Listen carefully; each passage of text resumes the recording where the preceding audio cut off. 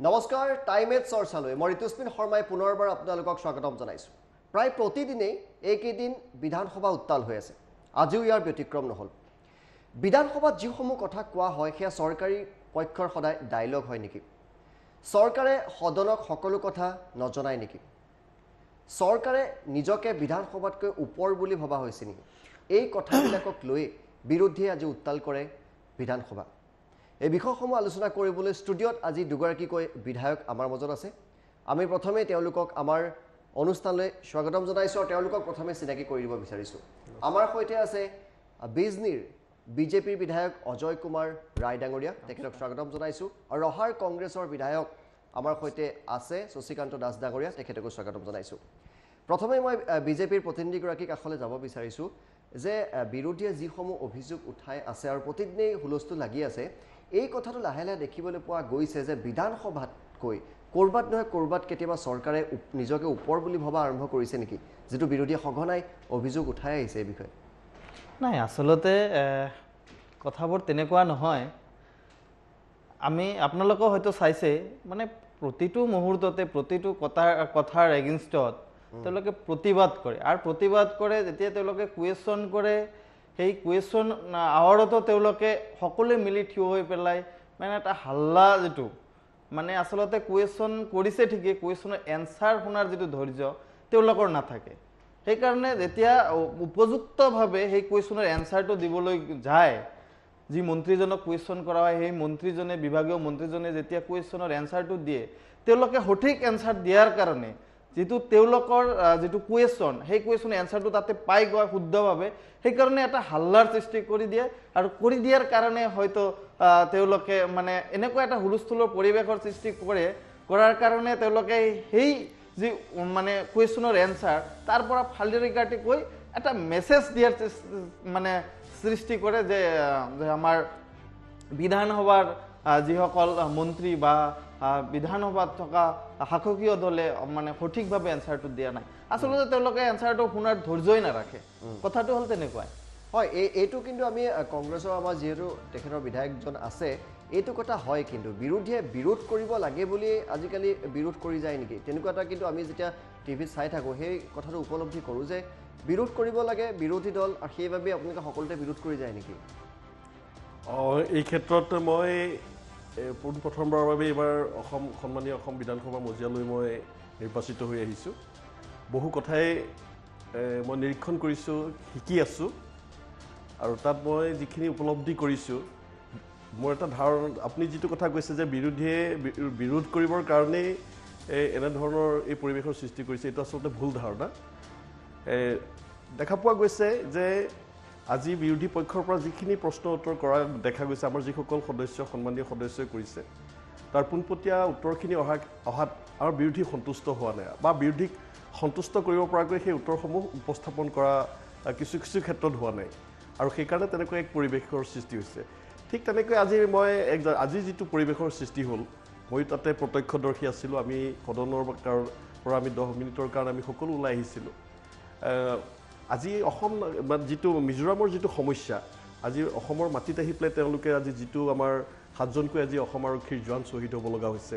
আজি গোটেই অসমৰ ৰাইজৰ মানে মনত মন মগজুত এনেকুৱা এটা ধাৰণা আহি গৈছে যে অসমক কেওফালৰ পৰা চেপি গুচি লৈ আহিছে। গতিকে এইটো ক্ষেত্ৰত আজি চৰকাৰখনৰ পৰা যিটো প্ৰত্যুত্তৰ বা যিখিনি আহি পাব বা আমি পাব লাগিছিল সেই উত্তৰখিনি আমি পোৱা নাই। আৰু মোৰ মনত পৰিছে আমাৰ পদ্ম হাজৰিকা ডাঙৰীয়া তেখেতে কৈছে যে এক ইঞ্চি মাটিও নিদিওঁ কিন্তু কথাবিলাক তেওঁলোকে মুখত কৈ আছে যে এক ইঞ্চি মাটিও নিদিওঁ এইটো নকৰোঁ। কিন্তু কাৰ্যক্ষেত্ৰততো সেইটো হোৱা নাই।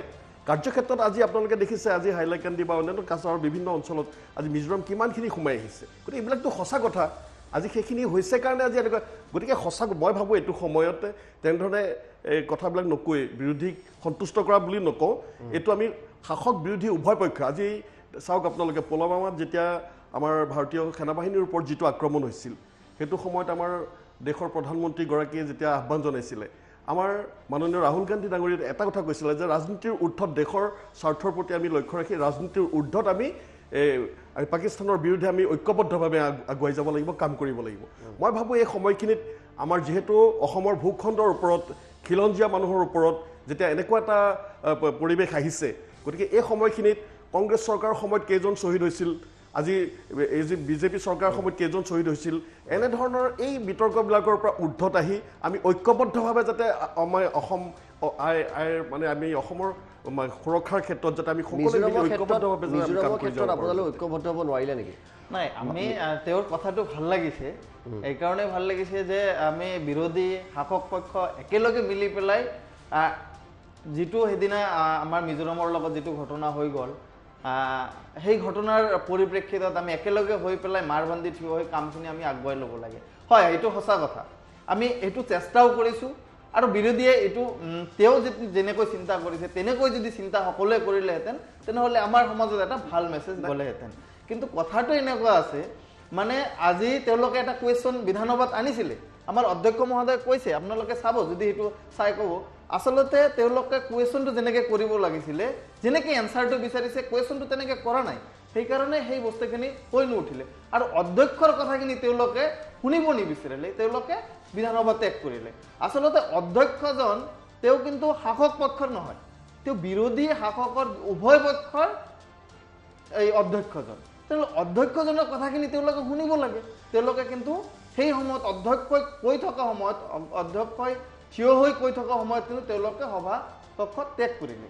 সেইটো মই কিন্তু ব্যক্তিগতভাৱে মানে উচিত হোৱা নাই বুলি মই ক'ব বিচাৰিম। যদি শাসক পক্ষৰ লগত মিলি তেওঁলোকে কাম কৰিব বিচাৰিছে তেনেহ'লে সেই সমস্যাটো সদনৰ ভিতৰত আলোচনাৰ মাধ্যমতে সমাধান কৰিব লাগে। এনেকুৱা এটা স্পৰ্শকাতৰ বিষয় এনেকুৱা এটা স্পৰ্শকাতৰ বিষয় যেতিয়া সদনৰ মজিত আলোচনা হৈছে নাই নাই। এনেকুৱা নহয় যে আমাৰ শাসকীয় পক্ষ বিজেপি চৰকাৰখনে বা অসম চৰকাৰখনে এইটো লৈ কোনো ষ্টেপ লোৱা নাই তেনেকুৱা নহয়। এটা ধুনীয়া পৰিৱেশৰ মাজত। আপুনি যদি পাকিস্তান আৰু ইণ্ডিয়াৰ কথাটো ইয়াতে আনে তেনেহ'লে সেইটো সম্ভৱ নহয়। কাৰণ পাকিস্তান আৰু ইণ্ডিয়াৰ কথাটো বেলেগ। কাৰণ পাকিস্তান আৰু ইণ্ডিয়া আৰু অসম আৰু মিজোৰামৰ কথাটো বেলেগ। আজি এটা অসম অসম আৰু মিজোৰামৰ কথাটো আমি এনেকৈ ভাবিব পাৰোঁ যে আমাৰ এটা ফেমিলিৰ ভাই ককাই আমি।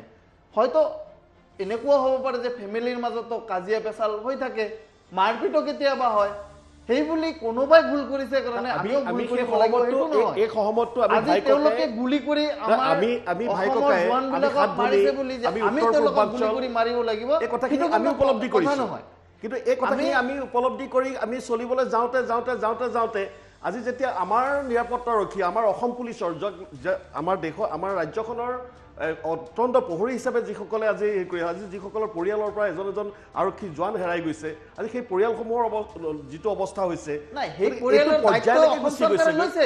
এই পৰ্যায়টোলৈকে আমাৰ আমি কাৰোবাৰ। ভাতৃত্ববোধ দেখাইছো আমি কাৰোবাৰ প্ৰতি আমি অনুগত্যশীল আমি ভাতৃত্ববোধ আমি সাত বনি আমি নৰ- হেৰি নৰ্থ নাই ইষ্ট নাই তেনেহ'লে এই আপুনি এনেকে ধাৰণাখিনি ক'ব লৈ বিচাৰি থাকোঁতে থাকোঁতে বিচাৰে আমাৰ নেকি? বৰঘৰ যে সোমাইছে, নহয়, আমি, বৰঘৰ তেনেকুৱা আহ, আমাৰ মানে এই অখণ্ডতাৰ প্ৰতি মিজোৰাম- ভাবুকি আনিছে। মিজোৰামকো এটাক কৰিব লাগে মিজোৰামৰ ফৌজীসকলক বা মিজোৰাম পুলিচসকলক গুলিয়াই মাৰিব মই লাগে সেইটো ক'বলৈ যোৱা নাই মই আপোনালোকে- সেইটো মই আপোনালোকে গুলিয়াই মাৰিবলৈ তেনেকে যোৱা ক'ব নাই বিচাৰিছে নেকি? যে আমি এইটো এটা এই ভাল গোটেই message সমস্যাটো নহয়। আমি আজি গোটেই আমি শাসক বিৰোধী আমি সকলোৱে অন্ততঃ আমাৰ দেশৰ অখণ্ড আমাৰ ৰাজ্যখনৰ মানে ভূখণ্ডৰ অখণ্ডতাৰ স্বাৰ্থত অসমীয়া অসমৰ অখণ্ডতাৰ স্বাৰ্থত বা আমাৰ সীমাৰ এই নিষ্পত্তিকৰণৰ স্বাৰ্থত আমি কিয় ঐক্যবদ্ধভাৱে আমি কৰি নাই আমি ঐক্যবদ্ধভাৱে? সেইকাৰণে মই কৈছো যে আপোনালোকে আজি কংগ্ৰেছ দল বা এ ইউ ডি এফে যে সদন ত্যাগ কৰিলে আমাৰ কথাখিনি আমাৰ অধ্যক্ষৰ কথাখিনি নুশুনাকে তেওঁলোকে সদন ত্যাগ কৰিলে। কোৱা হৈছে- তেওঁলোকে মানে আপোনালোকে কিন্তু সেই বস্তুটো আলোচনা কৰিব লাগিছিলে সদনত তাত- সদনত তাত কি কোৱা- হয় তাত নহয় কোৱা সেইটো। হৈছে যে ইমানখিনি- কিন্তু সেই সময়ত আপোনালোকে কুৱেশ্যনটো নাই, সেই- আনিলে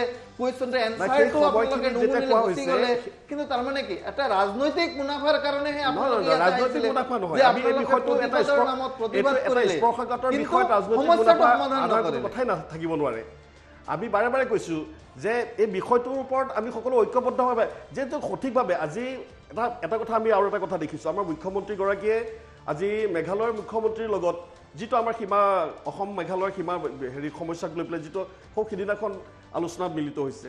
কিন্তু আলোচনাত মিলিত হোৱাৰ চৌব্বিছ ঘণ্টাৰ পিছতে আজি নন্দিতা বাইদেউ আমাৰ বকুৰ বিধায়িকা যদি তেখেত আহি ল'লে তেখেতে আৰু ভালকৈ ক'ব পাৰিল কাৰণ তেখেতৰ সমষ্টি পৰিছে সেইখিনি।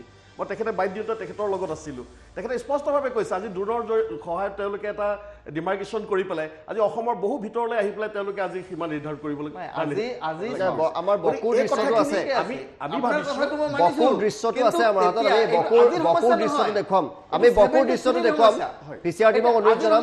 হয় অজয় ডাঙৰীয়া আমাৰ বকুৰ দৃশ্যটো আছে সেইটো দৃশ্যটো আমি দেখুৱাম। হয় আপুনি কওক।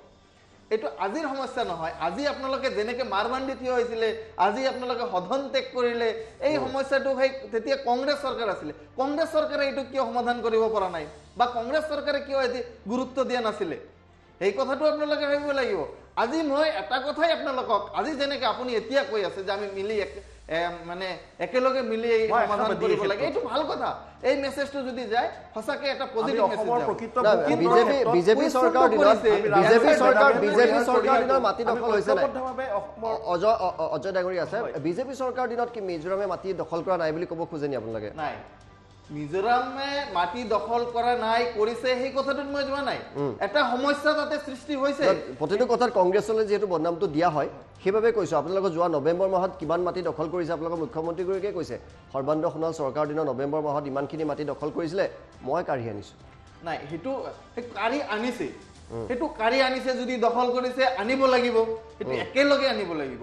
মই মানে এই কথাটোৱে মানে তেওঁ কোৱা কথাখিনি আমাৰ বিধায়ক ডাঙৰীয়া কথা কোৱাখিনি এক- একেবাৰে শুদ্ধ কথা।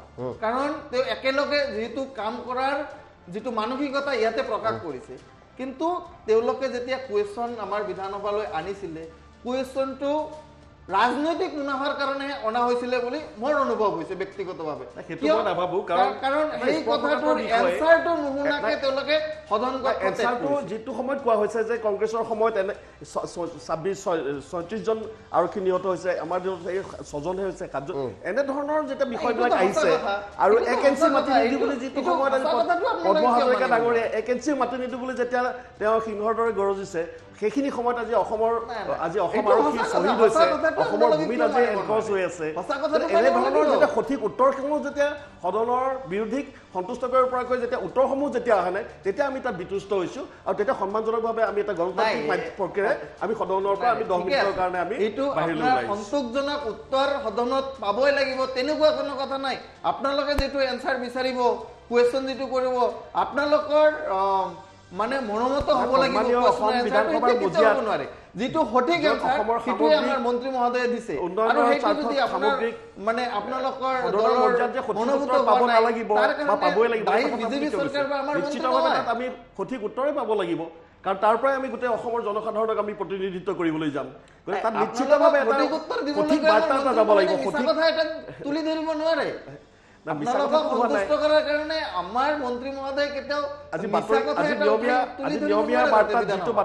প্ৰকাশ হৈছে সেই বাতৰিটোৰ ওপৰত আমাৰ বিৰোধী পক্ষৰ ফালৰ পৰা তাত আঙুলিয়াই দি পেলাই কথাখিনি অনুকিয়াই দিয়া হৈছিলে।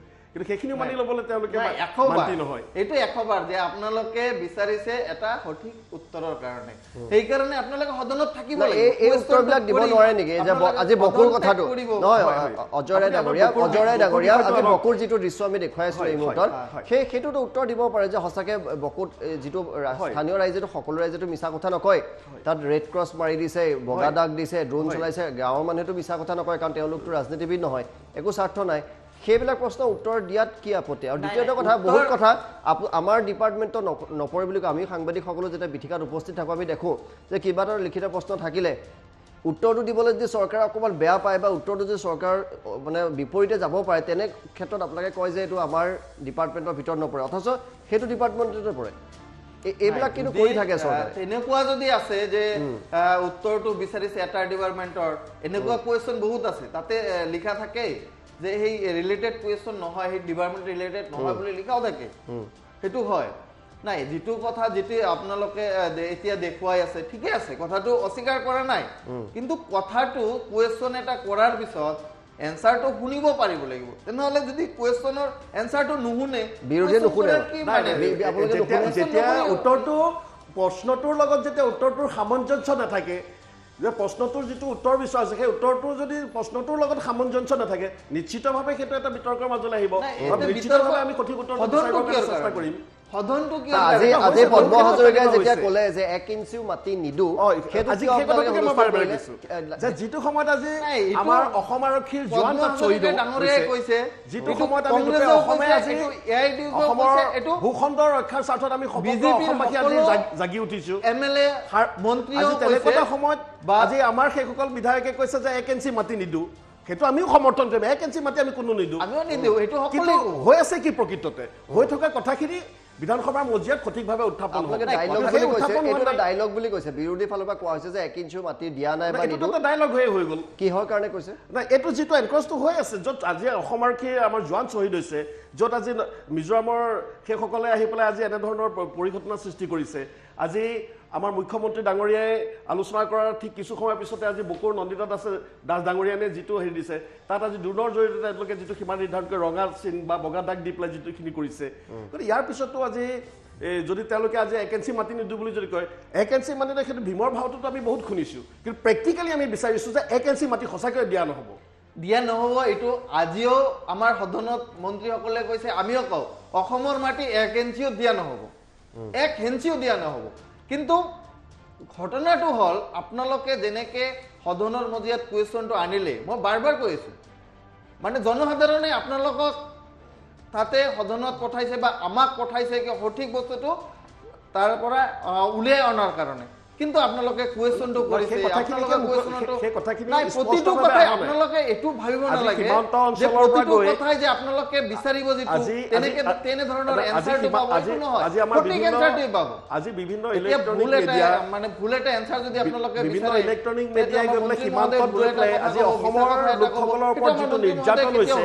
আজি ঘৰ বাৰী এৰি পলাব লগা হৈছে আজি ঘৰ খালী ঘৰ এৰি থৈ পেলাই আজি ল'ৰা ছোৱালী লৈ পেলাই টোপোলা লৈ পেলাই তাৰ পৰা নিৰাপদ দূৰত্বলৈ আঁতৰি আহিব লগা হৈছে আজি তাত আহি পেলাই আগ্ৰাসন চলিছে সুৰক্ষা দিছে? পৰিঘটনাটোৰ লগত? এই কথাখিনি বিজেপি গভৰ্ণমেণ্টে অসম? চৰকাৰে দিছে অসম চৰকাৰে সুৰক্ষা দিছে অসম চৰকাৰে দায়িত্ব লৈছে গতিকে প্ৰকৃত সত্যখিনি অনুধাৱন কৰা হওক আৰু অসমৰ দুইজনে দুইজনে কথা। ক'লে ৰাইজৰ বুজাত অসুবিধা হয়। এজন এজনকে যাওঁ দুইজনে কথা ক'লে ৰাইজৰো বুজাত অসুবিধা হয়। প্ৰকৃত সত্য কি? আপোনালোকৰ মতে প্ৰকৃত সত্য আমাৰ প্ৰকৃত সত্য আমি বিভিন্ন ইলেক্ট্ৰনিক মিডিয়া প্ৰিণ্ট মিডিয়াৰ জৰিয়তে বা বিভিন্ন বাতৰি কাকতৰ জৰিয়তে আমি যিটো দেখি আছো যে আজি আমাৰ সেই লোকসকল তাত আজি নিৰাপত্তাহীনতাত ভুগিছে। আজি নিজৰ নিজৰ পৰিয়াললৈ নিৰ্দিষ্ট দূৰত্বলৈ তেওঁলোকে আজি ঘৰ দুৱাৰ এৰি আহিব লগা অৱস্থা হৈছে। আজি এনেকুৱা এটা উত্তেজনাময় পৰিৱেশ। আজি অসমৰ বহু আজি হাইলাকান্দি কাছাৰ বিভিন্ন আজি সীমামূৰীয়া সেই অঞ্চল জিলাসমূহত আজি বহু ভিতৰলৈ সোমাই আহিছে। এই কথাখিনি সঁচা কথা। ইয়াৰ পৰা যদি আমি একেঞ্চি মাতি নিদিওঁ বুলি যদি কৈ থাকোঁ তাত যদি এনেধৰণৰ হৈ থাকে আজি কিছুদিনৰ আগত আজি নাগালেণ্ড মৰিয়নি বিধায়ক আজি ৰূপজ্যোতি কুৰ্মী গালৈ দুৰ্বৃত্তই গুলি হেৰি হৈছে আজি এজন বিধায়কৰ ওপৰত তেওঁলোকে নিৰ্বাচনে গুলি চলাবলগীয়া এটা পৰিৱেশ হৈছে। আজি অসমৰ ভূমিত আহি পেলাই খেতি বাতি চাহ বাগান নষ্ট কৰি পেলাইছে। এইখিনিতো প্ৰকৃত সঁচা কথা। গতিকে এই কথাখিনি ক'ত কেনেকে হৈছে? এই কথাখিনি এই কথাখিনি। আমি বিৰুদ্ধে কৈছো যে এই কথাখিনি এটা সঠিক মূল্যায়ন হওক আৰু তাৰ প্ৰয়োজন হ'লে আমি ঐক্যবদ্ধভাৱে অসমৰ স্বাৰ্থত আমি শাসক বিৰোধী ঐক্যবদ্ধভাৱে ইয়াৰ হেৰি হয়। কিন্তু এই কথাখিনি যেতিয়া আমি উত্থাপন কৰিবলৈ গৈছো কিন্তু তাৰ সঠিক হেৰিখিনি আমাৰ শাসকীয় পক্ষই আমাৰ নিদি চালে বেৰে কোবাই এনেধৰণৰ নাটকীয় কিছুমান বা এনেধৰণৰ বচন মাতি পেলাই তেওঁলোকে বিপদে পৰিচালিত কৰিব খুজিছে। আৰু এই কথাখিনিত আমি সঁচাকৈ মৰ্মাহত হৈছোঁ। হয় ঠিক আছে। আপোনাৰ কথাটো মই যদি এনেকৈ কওঁ আপোনালোকে বিভিন্ন মিডিয়াৰ কথা কৈছে তুলি ধৰিছে মিডিয়াৰ এক্সাম্পল তেওঁলোকে মিডিয়াত দেখুৱাইছে যে টোপলা টোপলি লৈ তেওঁলোকে গুচি আহিছে এনেকুৱাও দেখাইছে যে আছাম পুলিচে নাগা আমাৰ মিজো পুলিচক যে খেদি পঠিয়াইছে সেইটোতো মিডিয়াত দেখাইছে সেই কথাটো আপুনি ক'ব লাগিছিলে সেইটো আপুনি নক'লে সেইটোওতো আছে যে তাতে অসমৰ মাটি নহয় নাগালেণ্ডৰ O C O C Sahabuddin বৰভূঞাই Mizo আৰক্ষীক খেদি পঠিয়াইছে? খেদি পঠিয়াইছে। এইটো এক্সাম্পল আমাৰ আৰু মাজত আপুনি আছে। এইটো স্বীকাৰ কৰিব লাগে যে আমাৰ আমাৰ অসমত আৰক্ষী যে বহি থকা নাই। অধীক্ষকে তাত আজি নাই, ঠিকে মানে আছে। গুলি খাব লগা এটা পৰিৱেশৰ সৃষ্টি হৈছে। গুলি খাব লগা সেইটো এটা অপ্ৰীতিকৰ ঘটনা হৈছে। তেখেতক ক'ব দিয়ক, অনাকাংক্ষিতভাৱে হৈছে। এইটো কোনো আশংকা কৰা নাছিলে।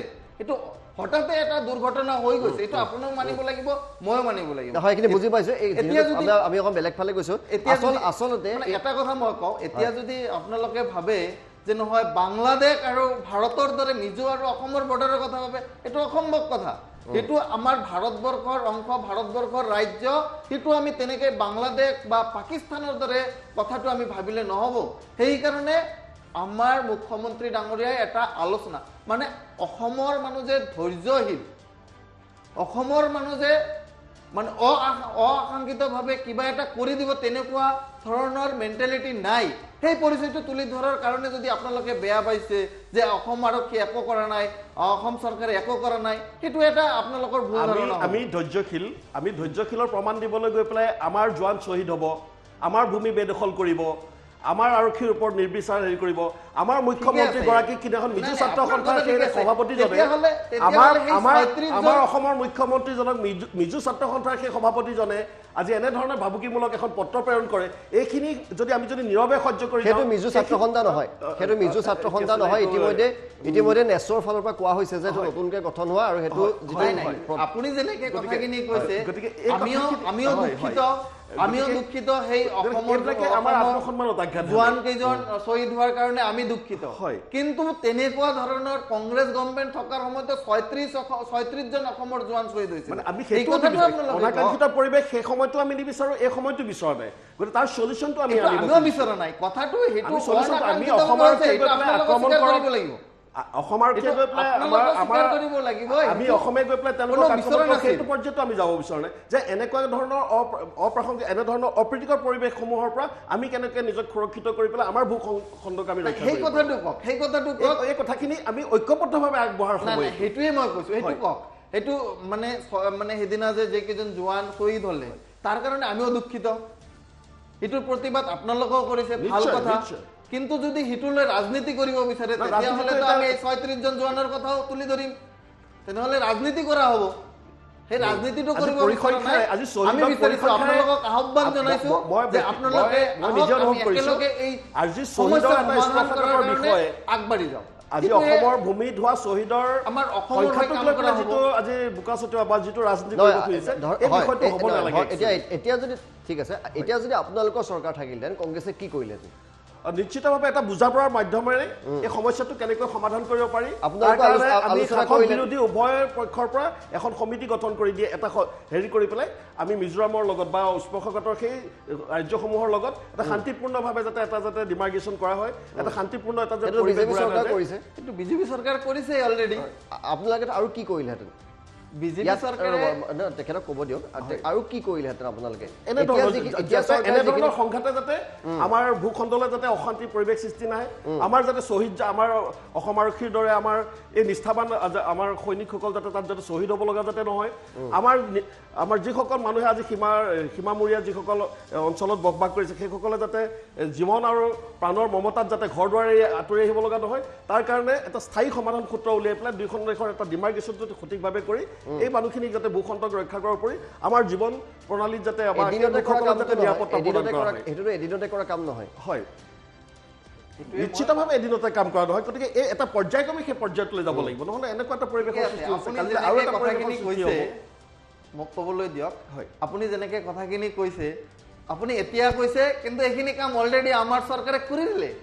কংগ্ৰেছ এ আই ডি এফৰ প্ৰতিনিধিসকলক লৈ পেলাই সেই অঞ্চলত গৈছে ভ্ৰমণ কৰিছে সেই অঞ্চলৰ সকলো বস্তু নিশ্চিতভাৱে ভাল কথা এইটো আমাৰ কাৰণে ভাল কথা। কিন্তু সেই কথাখিনিকো যদি বিধানসভাৰ মজিয়াটো যদি কথাখিনি তেনেধৰণে যদি এটা ঐক্যবদ্ধ যদি এটা পৰ্যায়লৈ গ'ল আৰু ধুনীয়াকে- এটা ভাল এটা হেৰি হ'ল। আজি ধুনীয়াকে আপোনালোকৰ কুৱেশ্যনৰ এনচাৰটো দিবলৈ বিচাৰিছিলে বা দি আছিলে আমাৰ মন্ত্ৰী ডাঙৰীয়াই। কিন্তু আপোনালোকৰ শুনাৰ ধৈৰ্যটো নহ'ল। কাৰণ আপোনালোকে এই বস্তুটো ৰাজনীতি কৰিব বিচাৰিছে। সেইকাৰণে ৰাইজক দেখাব বিচাৰে যে আমি প্ৰতিবাদ কৰিব প্ৰতিবাদ এই। কেনেকে আহিব সেইখিনি আমি উলিয়াব লাগে। কিন্তু আপোনালোকে প্ৰতিবাদ কৰি সদন ত্যাগ কৰিলে আচলতে আপোনালোকে। সেইটো সময়ত নহাৰ কাৰণে আমি সদন ত্যাগ কৰিছিলো সেইটো সময়ত।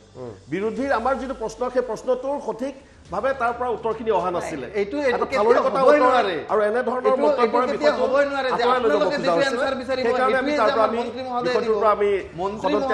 আমি। সঠিক। উত্তৰটো সেই সময়ত আপোনালোকে- সঠিক নাছিলেই। সঠিক এনচাৰ দি আছিলে সঠিক কাৰণ নাছিলে সেইটো সময়ত অধ্যক্ষ মহোদয় আৰু সঠিক উল্লেখ উত্তৰ কৰিছিলে বিচাৰি আমি যে খাৰা হৈছিলো questionটো প্ৰত্যেকে মানে সঠিকভাৱে আমি questionটো সেই অহা উত্তৰটো এটা নাছিলে। সঠিক উত্তৰ হওক এটা মেছেজটো ভাল হওক বা সঠিকভাৱে গোটেই কথাখিনি তাত উপস্থাপন হওক কিন্তু বিষয়টো যাতে চালাই বেৰে কোনোবা বেলেগ এটা চাইডত নাই, যেতিয়া ঠিকে গুচি আছে। গৈছে মই তেতিয়া আমি মানিছো। তাৰ পৰা আমি নাই নাই ৰাইজক গণতান্ত্ৰিক- আপোনালোকে কি মেছেজ দিব বিচাৰিলে যে আজি সদন ত্যাগ কৰিব লাগে সেইটো আপোনালোকে কওকচোন নহয়, নহয়, সদন ত্যাগ ৰাইজক কৰাটো কি সেইটো message মেছেজ দিব দিলে লাগে আপোনালোকে? যে আমি বিচৰা ধৰণে এনক্ৰছ যে হৈছে বা এনেধৰণৰ পৰিৱেশ হৈছে এই বস্তুটোৰ সঠিক উত্তৰখিনি আমি বিচাৰিছিলোঁ সেই সঠিক উত্তৰখিনি আমাৰ চৰকাৰী পক্ষৰ ফালৰ পৰা দিয়া হোৱা নাছিলে। নিদিয়াৰ কাৰণে আমি দহ মিনিটৰ কাৰণে সদন ত্যাগ কৰি পেলাই তাৰ পৰা আমি ওলাই আছে কিন্তু সেই বস্তুখিনি যদি সদনত কাৰণ থাকি সেইটো সময়ত কোৱা হৈছিলে যে এক মাটি এৰি মাজেৰে আছে যদি সমাধান কৰিব পাৰিলেহেঁতেন তেনে- তেতিয়াহ'লে ৰাইজে ক'লেহেঁতেন যে নহয় আমাৰ বিৰোধী শক্তিশালী। কিন্তু সদন ত্যাগ কৰাটো কি কি- বুজালে? যেতিয়া ৰাজনীতি কৰিবলৈ আহিছে। ৰাজনীতিটো আপোনালোকে ক'ব সেইটো কথা। কিন্তু সঠিকভাৱে গোটেই উত্তৰখিনি। কাৰণ মই মই নিজেও তাত স্পষ্টভাৱে আছিলোঁ আপুনি আছে। আমি সকলোৱে দেখিছোঁ যে উত্তৰ প্ৰশ্নৰ আৰু উত্তৰৰ মাজত কোনো সামঞ্জস্যতা নাছিলে। গোটেই বিষয়টোক এটা ৰাজনীতিকৰণ কৰি বেলেগ এটা দিশত লৈ যোৱা আমি ঘূৰি পকি। আমি ঘূৰি পকি একেটা বিষয়তে আহি আছোঁ। আমি খুব দীঘলীয়া নকৰোঁ। শেষত মই আপোনাৰ কাষলৈ আহিছোঁ। চৰকাৰে যিটো পদক্ষেপ লৈছে ধৰক মিজোৰামৰ সৈতে আলোচনা কৰিলে মেঘালয়ৰ সৈতে আলোচনা কৰিছে কি আলোচনা কৰিলে কি কথা পাতিলে এই কথাখিনি সদনত বিতংভাৱে জনোৱাটো উচিত বুলি আপুনি নাভাবেনে? ৰাইজে গম পাব অন্ততঃ। নিশ্চয়কৈ সেইটো জনাব। আমাৰ সন্মানীয় মুখ্যমন্ত্ৰী মহোদয়ে সেইটো অহা তেৰ তাৰিখ চাগে ক'লে মই তাৰিখটো পাহৰিলোঁ। ঠিক তেনেকৈ আ- আলোচনাৰ এটা প্ৰক্ৰিয়া আহ, মানে ৰাখিছে। তেওঁলোকে সকলোকে মানে আলোচনাৰ মাজতে ঘটনাটো কি হ'ল বিতংভাৱে সকলোকে বুজাই দিয়াৰ চেষ্টাটো কৰিব সেইটো এটা আমাৰ আহ, মুখ্যমন্ত্ৰী মহোদয়ে এটা মানে মই তাৰিখটো পাহৰিছোঁ আচলতে তেৰ তাৰিখ হ'ব চাগে। ঠিক তেনেকুৱা এটা মানে নিৰ্ধাৰণ কৰা আছে যে সকলোকে লৈ কি হ'ল নহ'ল এটা এটা বস্তু আমাৰ মানে সদনত জনাব কথা জনাব। এই বস্তুখিনি ক্লিয়াৰ কৰিব আৰু আপোনাৰ কাষলৈ আহিছোঁ। বিজেপি চৰকাৰখনে হিমন্ত বিশ্ব শৰ্মা চৰকাৰখনে যিটো প্ৰচেছ লৈছে তাত আপোনালোক কিহত অসন্তুষ্ট হৈ আছে? আপুনিও ক'লে যে আজি যদি কংগ্ৰেছৰ চৰকাৰ থাকিলহেঁতেন আমি আমুক কৰিলেহেঁতেন তমুক কৰিলেহেঁতেন। এতিয়া বিজেপি চৰকাৰখনে যিখিনি প্ৰচেষ্টা হাতত লৈছে তাত আপোনালোক ক'ত অসন্তুষ্ট এটা ভাল কথা আমাৰ মেঘালয়ৰ মুখ্যমন্ত্ৰীৰ আলোচনাৰ পিছত তৎকালীনভাৱে আমাৰ মুখ্যমন্ত্ৰী ডাঙৰীয়া দেলহি গৈছে। আৰু আমাৰ বিধানসভা অধ্যক্ষ ডাঙৰীয়াই জনাইছে যে তেৰ তাৰিখে আহি পেলাই তেখেতে এই অসম মেঘালয় যিটো মানে আলোচনা হ'ল এই কথাখিনি সদনত স্পষ্টভাৱে জনাব। এই কথাখিনি আজি আমাৰ বিধানসভা অধ্যক্ষ ডাঙৰীয়াই আমাক জনাইছে। গতিকে এইটো ভাল কথা। খুব কম সময়ৰ ভিতৰত অৱশ্যে খুব কম সময়ৰ ভিতৰত এই এটা শিশুক এই সময়খিনিত যে আমি সমালোচনা কৰিব লাগিব বা সমালোচ বিৰোধীৰ কাৰণে সমালোচনা কৰিব লাগিব মই সেইখিনি কথা মই কেতিয়াও বিশ্বাস নকৰোঁ। এই তিনিমহীয়া এটা শিশু এটা এটা ঠন ধৰি আহিছে। এটা ভগ্নপ্ৰায় এটা আৰ্থিক অৱস্থাৰ মাজত। গতিকে এই সময়খিনিৰ মাজত আজি যেনেকৈ ড্ৰাগছৰ বিৰুদ্ধে বা বিভিন্ন ক্ষেত্ৰখনত চৰকাৰে কিছু বৰ পজিটিভ কিছুমান চিন্তাধাৰা লৈ পেলাই সঠিকভাৱে আগবাঢ়িছে। আৰু এইখিনিক আমি সমৰ্থন জনাম। আৰু এনেধৰণৰ যিখিনি হেৰি আছে এইখিনিক আমি এতিয়াই মোৰ মতে এতিয়াই বহুত সমালোচনা কৰি যুঁজ বাগৰ কৰাৰ সময় হোৱা নাই। কাৰণ কাম কৰাৰ কিছু সময় দিব লাগিব। আৰু সঠিকভাৱে কিছু ক্ষেত্ৰত আগবাঢ়িছে। আৰু যিখিনি জেগাত অলপ ইফাল সিফাল হৈছে আমি ঐক্যবদ্ধভাৱে যাতে অসমক আগুৱাই লৈ যোৱাৰ স্বাৰ্থত যাতে কাৰণ মোৰ আটাইতকৈ ভাল লাগিছিলে এইবাৰ পঞ্চদশ বিধানসভালৈ আহি যেতিয়া মই মুখ্যমন্ত্ৰীগৰাকীৰ মুখত যেতিয়া শুনিছিলোঁ তেখেতৰ বক্তব্যত যেতিয়া তেখেতে কৈছিলে যে অসমৰ সামগ্ৰিক উন্নয়নৰ স্বাৰ্থত বিৰোধীকো সমমৰ্যাদা দি পেলাই আমি আগুৱাই যাব লাগিব।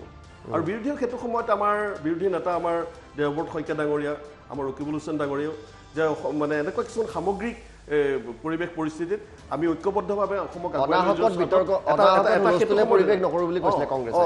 সেই কথাটোত মই অভিভূত হৈছিলোঁ আৰু ভাল লাগিছিলে আৰু তেনেকৈ গৈ আছে। গতিকে এতিয়াও মই বেছি মই ভাবোঁ এতিয়াও বহুত সমালোচনা কৰি যুঁজ বাগৰ তৰ্ক বিতৰ্ক কৰি কৰা সময় নহয়। আমাৰ কাম কৰাৰ সময় সন্মুখত আহি আছে। কাৰণ মই নিজেও বিধায়ক হৈ আজিলৈকে বিধায়ক পুঁজিৰ এটা পইচা আজিলৈকে মই পোৱা নাই। কাৰণ বিধানসভা নিৰ্বাচন পিছতে হয়তো এইবিলাক আহিব। আমি কাম কৰিব লাগিব। কাম কৰিলেহে আচল প্ৰকৃত ভুল ক'ত কেনেকৈ আছে ওলাব। গতিকে আমি সময় আছে। গতিকে যিখিনি আছে সেইখিনি মই ভাবোঁ এতিয়াও আমি বিৰোধী আৰু শাসকীয় পক্ষই আমি ঐক্যবদ্ধভাৱে আগন্তুক সময়ত যাতে অসমৰ উন্নয়নৰ স্বাৰ্থত যাতে আমি আগুৱাই যাব পাৰোঁ। যেনেকৈ মই পঞ্চদশ বিধানসভাৰ সেই প্ৰথম অধিৱেশনত আহি অ'ট টেকিঙৰ পিছত মাননীয় মুখ্যমন্ত্ৰী ডাঙৰীয়ে যেনেকৈ কৈছিলে যে বিৰোধী শক্তিকো আমি সম- সমমৰ্যাদাৰে লৈ আমি বিশ্বাসত লৈ আগন্তুক সময়ত আমি অসমৰ উন্নয়নৰ স্বাৰ্থত আমি আগুৱাই যাম কাম কৰি যাম। এই কথাখিনি মই অভিভূত হৈছিলোঁ ব্যক্তিগতভাৱে আৰু মই শ্ৰদ্ধা জনাইছিলোঁ। আৰু সেই আশাখিনি মই আজিও ৰাখিছোঁ। আগন্তুক সময়ত আমি এনেধৰণে আমি অসমৰ স্বাৰ্থত আমি নিজৰ নিজৰ সামগ্ৰিক অঞ্চলৰ স্বাৰ্থত সমষ্টি উন্নয়নৰ স্বাৰ্থত আমি ঐক্যবদ্ধভাৱে যাতে আমি কাম কৰি যাব পাৰোঁ। আৰু এনেধৰণৰ যিবিলাক স্পৰ্শকাতৰ বিষয় মই এতিয়াও কৈছোঁ যে আগন্তুক সময়ত যে সঠিকভাৱে গোটেই প্ৰশ্ন যিটো প্ৰশ্ন কৰা হৈছে তাৰ ওপৰত সঠিক উত্তৰ আহক আৰু তাৰ যি হয় আমি পবিত্ৰ বিধানসভাৰ মজিয়াত সেই গোটেই কথাখিনি আম- আলোচনা কৰি আমি অসমৰ স্বাৰ্থত অসমৰ জনগণৰ। স্বাৰ্থত আমাৰ জাতীয় আমাৰ হেৰি স্বাৰ্থত আমি যাতে ঐক্যবদ্ধভাৱে যাতে আমি যাতে কাম কৰি যাব পাৰোঁ। অজয় কুমাৰ ৰায় ডাঙৰীয়া বিধানসভাৰ মজিয়াত আপোনালোকৰ বিৰোধিতা কৰিলেও ষ্টুডিঅ'ত কিন্তু আপোনালোকক সমৰ্থনে কৰিলে। ধন্যবাদ দিছোঁ। আৰু এটা কথা কৈ আপোনালোক মানে সুখী হ'ম মই। আমাৰ মাননীয় মুখ্যমন্ত্ৰী ডাঙৰীয়াই কেতিয়াবা আমাৰ বিৰোধীৰ সময় বান্ধা থাকে যে পোন্ধৰ মিনিট বিছ মিনিট ক'ব পাৰিব। তেতিয়া এই বিৰোধীকো মুখ্যমন্ত্ৰী ডাঙৰীয়াই নিজে থিয় হৈ পেলাই বা মুখ্যমন্ত্ৰী ডাঙৰীয়াই নিজৰ সময়খিনিৰ পৰা দুই তিনি মিনিট দিয়াৰ উদাহৰণ আছে যে আপোনালোকে এই কথাখিনি তুলি ধৰক সদনত।